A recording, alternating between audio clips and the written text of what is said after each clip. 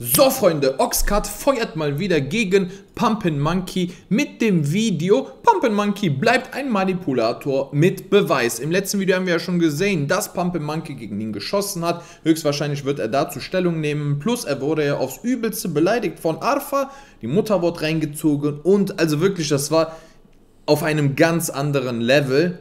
Bin mal gespannt, was er dazu sagt. Let's go. Freunde, die Netflix-Serie geht weiter. Also machen wir dementsprechend auch wie bei einer Netflix-Serie eine Zusammenfassung, was in den vorigen Folgen passiert ist. Ich habe Pumpelmanke vorgeworfen, dass er Leute manipuliert, damit seine Videos interessanter werden. Daraufhin hat er eine kleine Insta-Story über mich gemacht. Auch unser Roadrunner hat einige Worte über mich verloren. Wie auch sein Gesicht, nachdem er abgehauen ist und seinen Freund alleine gelassen hat, weil er wegen ihm Schläge bekommen hat. Irgendwann hat Tuda ein Statement veröffentlicht, wo sie behauptete, dass Puppy Monkey kein Geld gebe, wegen dem Shisha-Tabak, welches die beiden zusammen veröffentlicht haben. Daraufhin kam ich, der Erzfeind von dieser ganzen Gruppe, und habe mich dazu geäußert und habe meine Meinung dazu kundgegeben. Daraufhin hat unser Roadrunner ebenfalls ein Statement verfasst bei Instagram, obwohl das gar keinen Schwanz juckt, weil er ein ist und jeder ihn hasst. Und daraufhin haben sich Shuda und Papi Monkey zusammengetroffen und haben ein Interview zusammengeführt, wo sie behauptete, dass sie doch Geld bekommen habe. Aber halt nicht für den Shisha-Tabak. Und heute möchte ich mich gerne zu dieser ganzen Sache äußern, weil man mir jetzt vorwirft, dass ich gar keine Argumente mehr habe und dass er mich gefickt hätte mit diesem Statement. Heute wird auch eine Person dabei sein, die audiovisuell jetzt dabei ist. Also, die werdet ihr jetzt nicht sehen. Aber die wird auch einige Sachen zu dieser Thematik sagen können. Okay, bin mal gespannt. Hack. Wie ihr sehen könnt, hat sich Shuda und Papi Monkey getroffen und sie sind wieder anscheinend befreundet. Jetzt höre ich immer wieder das Argument, ja, er hat dich gefickt, weil er jetzt wieder mit der befreundet ist. Ja, Leute, denkt ihr, das war mir nicht bewusst? Denkt ihr, es war jetzt so unvorstellbar, dass die beiden sich wieder befreunden? Das ist doch schon mehrfach passiert, das war mir auch klar. Trotzdem wollte ich diesem Thema Gehör schenken. Ich als Meinungsblogger reagiere immer darüber, was aktuell geschieht. Ich kann doch nicht immer warten, bis sich wieder Leute verbünden oder sich ein Ereignis irgendwie wieder ändert. Nehmen wir mal okay. zum Beispiel den Fall Arafat und Bushido. Darf ich mich jetzt über den Streit zwischen Arafat und Bushido nicht äußern, weil sie potenziell wieder Freunde sein könnten und meine Argumentation wieder für nix wäre? Nein, so funktioniert das Ganze nicht. Ich sehe eine Thematik, was ich für wichtig erachte und äußere meine Meinung dazu. Und vielleicht helfe ich mit meiner öffentlichen Kritik, dass man diesem Mädchen zum Beispiel ein Gehör verschafft, weil ihre ganzen Social Media Plattformen zu diesem Zeitpunkt einfach ausgeschaltet wurden. Im Statement rechtfertigt sich Pumpy Monkey so über die Sache. Was ich dazu sagen will, ist, meine Partner haben einiges da rein investiert für den Tabak und die Investition ist noch lange nicht raus, was den Tabak eingeht. Heißt, ich selbst habe für den Tabak noch keinen Cent bekommen. Er habe angeblich selber kein Geld für diesen Shisha-Tabak bekommen. Und das ist auch der Grund, warum auch eine Huda dafür nichts bekommen hätte. Und nun sagt er, dass seine Geschäftspartner das Geld erstmal wieder reinholen wollen, was sie für diesen Tabak ausgegeben haben. Ich will mich jetzt nicht zu sehr in die Materie hinein vertiefen, aber ich kann euch eins sagen. Ein Startup funktioniert aber auch nicht so. In einem Startup-Unternehmen oder generell in einem Unternehmen, wo du erstmal wirklich Minus machst, um das Ganze zum Laufen zu bringen, rechnest du trotzdem die Kosten für die Mitarbeiter dazu. Du zahlst natürlich den Mitarbeitern ihr Geld aus. So macht man das eigentlich in dieser Startup-Branche. Ich weiß jetzt nicht, wie das okay. bei denen abläuft. Vielleicht haben die auch andere Sachen beredet. Zumindest wusste das Huda anscheinend nicht und deswegen hat sie sich öffentlich dazu geäußert. Und ich sag dir ehrlich, ich hätte mich auch vielleicht abgefuckt. Weil wenn man es mir nicht erklärt, was eigentlich in der Regel in der Arbeitswelt so sein sollte, dass du deine Kohle kriegst, dann würde ich mich doch auch betrogen fühlen. Du als Boss der ganzen Geschichte so gesehen, kannst ja natürlich auf dein Gehalt verzichten, aber du kannst doch nicht immer erwarten, dass deine Mitarbeiter so gesehen auch darunter leiden, dass du jetzt äh, erstmal Minus bist. So. Okay. In dem Punkt kann man nachvollziehen, habe ich auch gar nicht dran gedacht. Aber ist sie tatsächlich nur eine Mitarbeiterin? Ja, quasi ja. Ich habe aber eher das Gefühl gehabt, als hätten die das zu dritt, Schrägstrich zu viert, wobei eher zu dritt gestartet. Huda, Sonja und Pumpen, dass die da vielleicht prozentual irgendwie entschädigt werden. Ich weiß es nicht. Im Endeffekt wissen die nur selbst, was da abgeht. Aber einleuchtend. Deswegen gucke ich mir auch gerne immer beide Seiten an.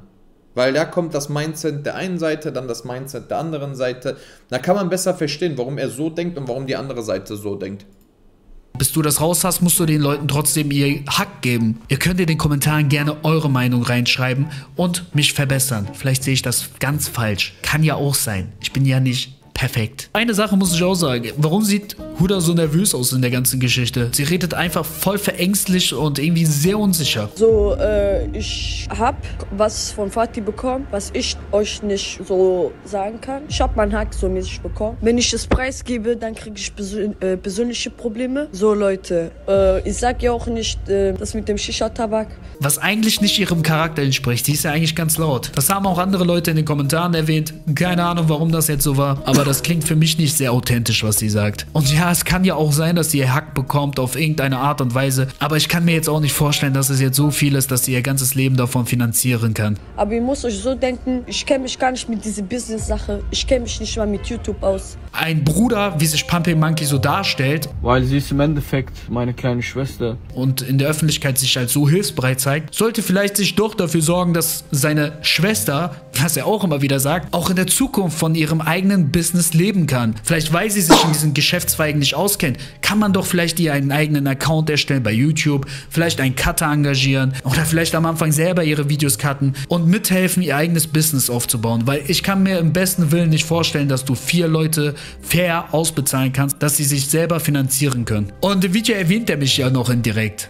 Die Leute nennen mich einen Mikrofonständer wegen einem äh, wieder draußen, der ein bisschen Aufmerksamkeit von mir will. Aber hier, falls du das siehst, ich sag das mal so, ohne dich zu erwähnen.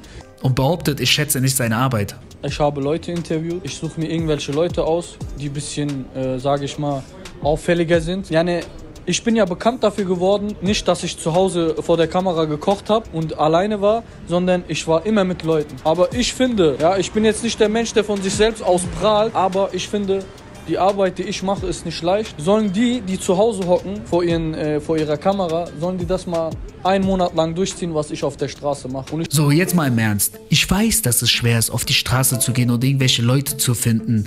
Okay, immerhin gibt er das hier ja zu. Weil das ist ein Punkt, da habe ich dem Pumpim auch recht gegeben. Ich habe ja alles schon gemacht.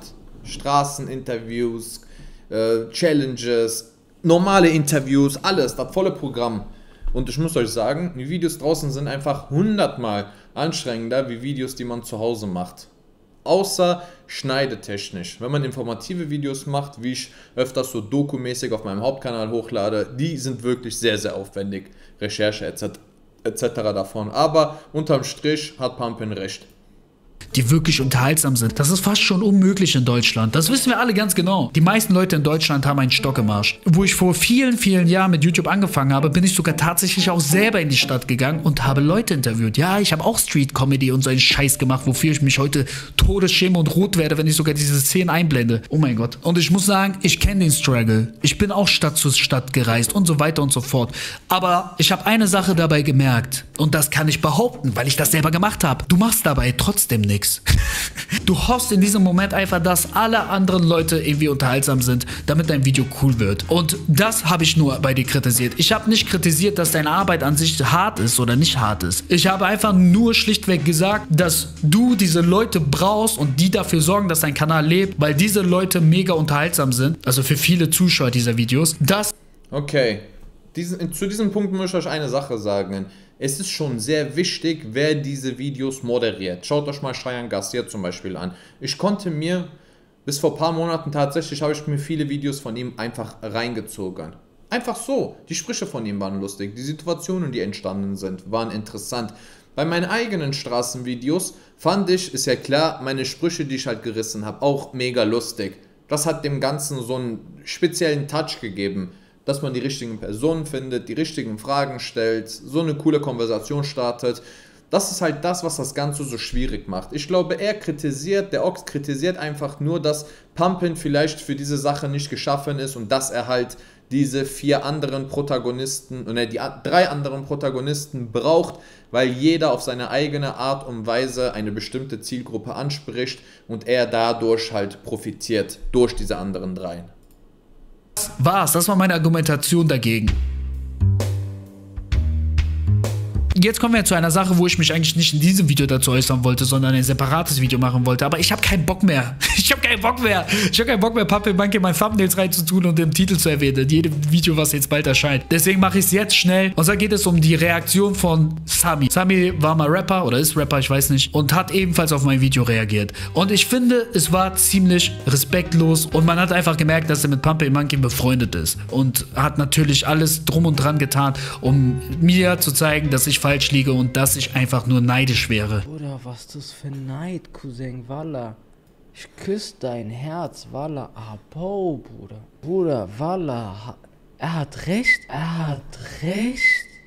Und das ist für mich die billigste Art, Leute fertig zu machen oder die Meinung einfach klein zu reden. So nach dem Motto, egal was ich sage, ich bin neidisch. Wenn ein Satiriker, zum Beispiel im Fernsehen, sich über Donald Trump lustig macht oder generell über seine Politik sich lustig gemacht hat, war derjenige wirklich eifersüchtig auf ihn, auf seine Haare oder was? Das ist einfach in diesem Fall eine normale Meinung, die man öffentlich macht. Ich könnte dir jetzt auch Neid vorwerfen, weil du über deine ganzen damaligen Rap-Kollegen herlästerst.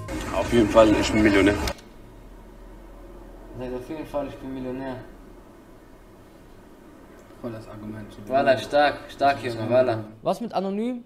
Ich frage ihn nach einem Song oder nach, dass er mit mir Iftar mitmacht. Und er muss mir sagen, Bruder, ich muss erstmal mit Samra abklären. Hat er Nein, hat er dann Nein, er hat nicht Nein gesagt. Er hat nicht mehr geantwortet. Statement zu Lil Lano. Er hatte einen kleinen Höhenflug. Aber ich würde es nicht machen, weil Neid für mich kein starkes Argument ist. Das ist für mich Kinderargumentation. Und generell, auf was soll ich neidisch sein? Denkst du, ich kann nicht selber auf die Straße gehen und irgendwelche Kinder interviewen? Soll ich darauf neidisch sein, dass ich damit meinen Erfolg aufbaue? Ich bin auf niemanden neidisch, außer Matt Stoney, wie ich das erwähnt habe, weil der Typ fressen kann ohne Ende. Aber ich bin nicht neidisch auf irgendwelche Zahlen. Also bitte Boah, dann müsste er ja auf mich anders neidisch sein. oh. Hör auf, mir irgendwie so welche Sachen vorzuwerfen. Das ist doch kindisch, Alter. Und selber irgendwelchen Leuten erzählen, dass man 100.000 Euro verdient. Hier, ich blende das mal ganz kurz ein von Sami und ABK. Pumping kommt erst Sonntag, oder nicht? Aber Wir waren heute mit Pumping. Er hat uns gesagt, dass er 100.000 im Monat verdient.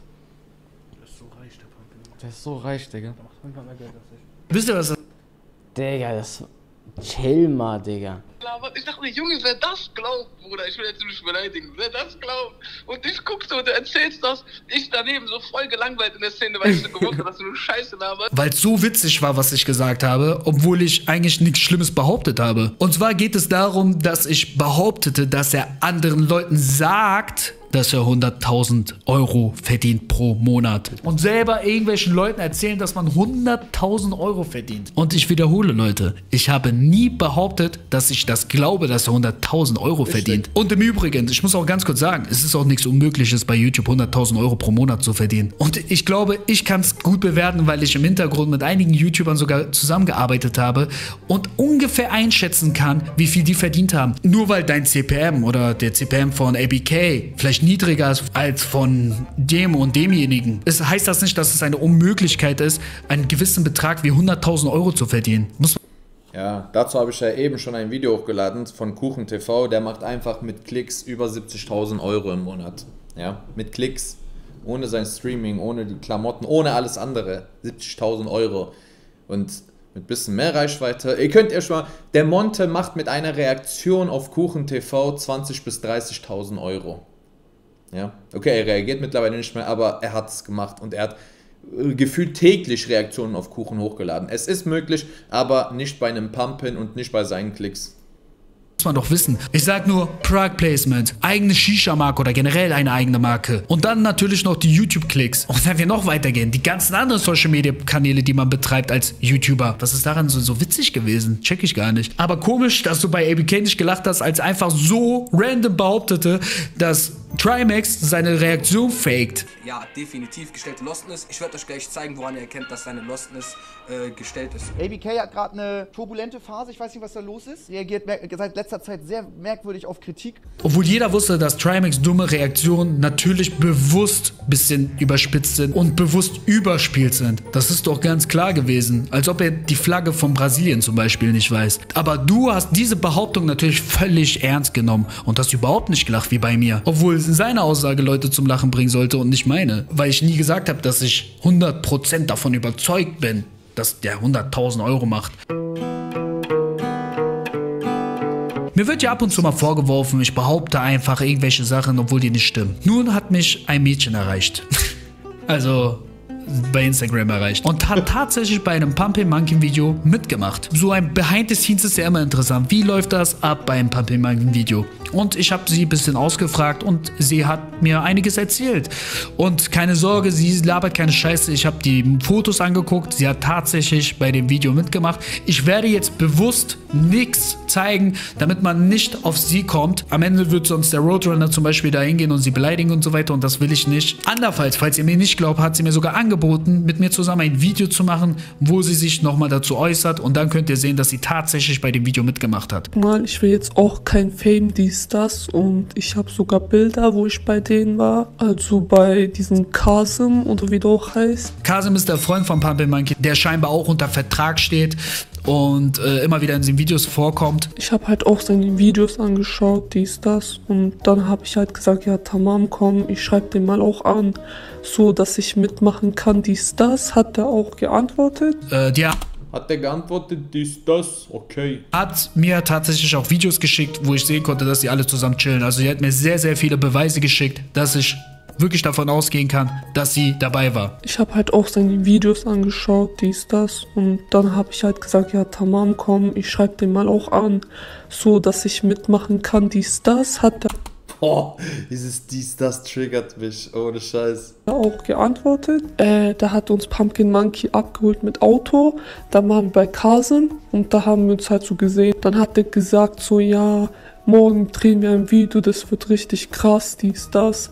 Aber seid nicht so langweilig, macht mehr Action, also macht so, also ja, so beleidigenmäßig dies, das. Hier sind wir bei dem Punkt Manipulation wieder. Man versucht natürlich ein bisschen die Leute schon mal heiß zu machen. Ja, okay, das ist ja kein Geheimnis. Trotzdem ehrenlos, ja, wenn man die Leute schon mal aufstachelt. Dazu habe ich ja schon mal ein Video gemacht. Ist schon was länger her. Das ist ehrenlos, Leute aufzustacheln. Entweder passiert was oder es passiert nichts. Aber auf der anderen Seite, nachträglich, also später halt darüber nachgedacht, überlege ich mir so, Bro, es kann nicht bei jedem Mal irgendetwas passieren.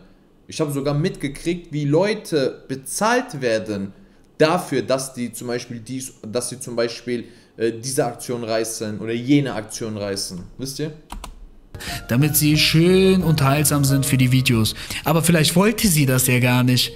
Vielleicht wollte sie ganz nett vorkommen im Video und wollte gar nicht mucken, sondern wollte mit den Leuten ganz normal reden. Aber nein, das geht ja nicht, sonst macht das Video ja gar keine Klicks. Nächster Tag also, dann war ja diese Videodreh. Dann haben wir halt angefangen zu drehen, aber meine Freundinnen haben da nicht mitgemacht, sind weggegangen.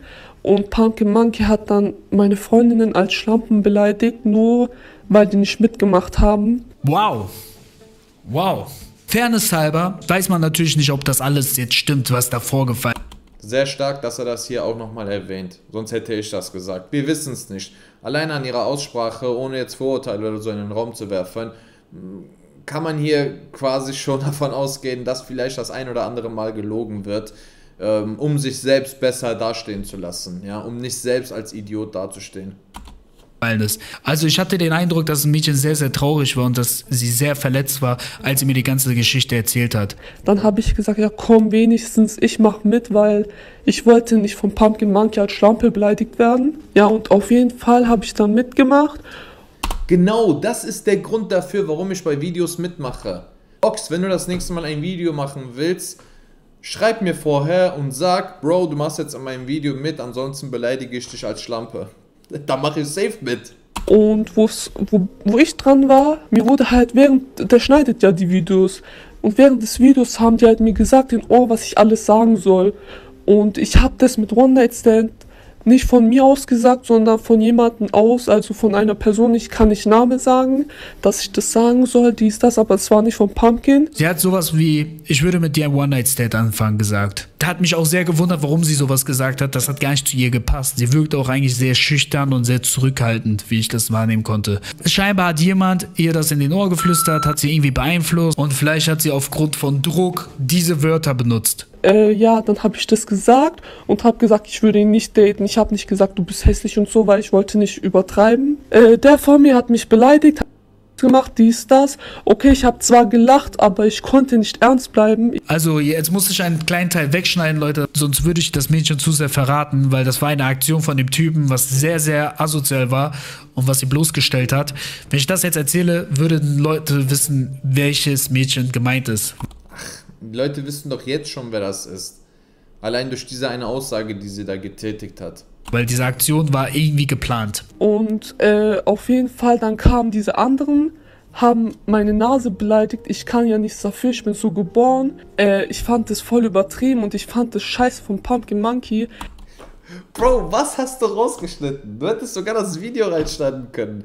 Jeder Hobbylose, und es wird viele geben, auch unter meinem Video werden jetzt Kommentare kommen, wo die Leute schreiben, ja, die und die war das aus dem und dem Video. dass er einfach mitgelacht hat und nicht mal gesagt hat, ey, rafft euch mal, die Arme, alle gingen auf mich und niemand hat was gesagt. Und danach habe ich zu Pumpkin gesagt, ey, das war doch voll scheiße, Mann, machen wir andere Video, weil das ist nicht gut geworden und so, weil wir haben uns alle so beleidigt. Dann meinte er, nein, nein, ich schneide alles und so. Ja, dann hat er gemeint, du wirst eh nicht Hate kriegen, ich Support kriege. Dann habe ich gemeint, ja, okay, dann soll er halt nicht mein Gesicht verdecken. Da habe ich gesagt, ja, scheißegal. Wie manipulativ. Der weiß ganz genau, wie YouTube funktioniert. Die Klicks haben bestimmt gut geschmeckt von diesem Video. ja, so ist das, ne? Ihr seht ja, bei jedem einzelnen YouTuber da draußen, und ist nicht nur bei Pumpen so, ist auch bei einem Monte, der so beliebt ist, so. Er bewirbt einfach immer weiter und weiter Spielcasinos, obwohl er so viel Kritik kassiert hat. Er geht null darauf ein, auf diese Kritik, versucht sie sogar totzuschweigen, wohingegen ein Pumpen darauf eingeht, muss man nicht mir zugute lassen, und versucht sich selbst zu rechtfertigen. Aber ihr seht's, auch Gewitter im Kopf absolut auf der positiven Seite. Jeder, die ganzen Positiven auch, diese ganzen Heuchler, also die meisten von denen zumindest, die haben alle irgendwo Dreck am Stecken. Ja, Natürlich machen die alles für Klicks. Ist doch klar, dass ein Video, wo Beef entsteht, wo halt gegenseitig beleidigt wird, viel, viel besser ankommt, wie eins, wo eigentlich gar nichts passiert. Warum sollte man sich das denn überhaupt angucken? So sind ja auch Serien aufgebaut, immer auf Action und Eskalation. Natürlich, das kommt am besten an. Und er hat das halt ausgenutzt. Er hat YouTube durchgespielt. Aber auf wessen Kosten? Natürlich auf die Kosten von ihr. Und wenn sie sich dann manipulieren lässt und dann sagt, ja, nee, brauchst mich dann auch nicht auszublenden, ich vertraue dir mal, alles gut. Es gab ja nicht schon 10.000 Videos, in denen das genau anders bewiesen wurde. Ja, dann meiner Meinung nach selber schuld, ja.